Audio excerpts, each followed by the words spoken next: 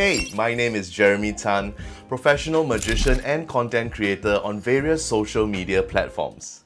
Over the last 20 years, I've performed professionally for Fortune 500 companies, private parties, and luxury cruise lines all around the world.